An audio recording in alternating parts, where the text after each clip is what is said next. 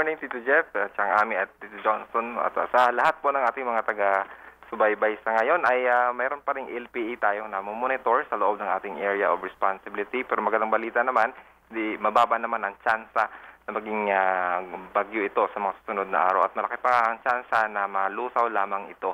Ito ngayon nakapaloob sa ITCC na naapekto ngayon sa Visayas at Mindanao. At uh, yung LPE na nabanggit ko ay namataan yan kaninang alas 3 ng umaga sa layong 285 km silangan, timog silangan ng uh, Borongan City Eastern Samar. Samantala, yung southwest monsoon o habagat ay patuloy naman na apekto sa Luzon sa ngayon.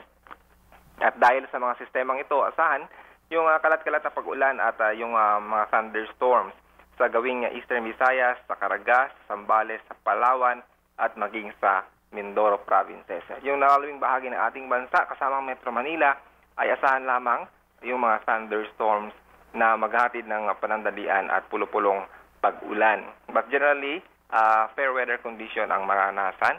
Pero malaki na kasi chance ngayon ng mga pamumulan thunderstorms bandang hapon o gabi.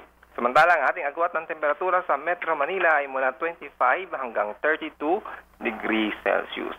At uh, para sa kagandang informasyon, bisitahin kami sa aming uh, website sa bagong at pag-asa.dust.gov.ph. Jeff, yan ang latest mula rito sa Weather Forecasting Center ng Pag-asa. Joey Figuracion, maraming salamat. Thank you very much, Joey Figuracion mula sa Pag-asa Weather Forecasting Center.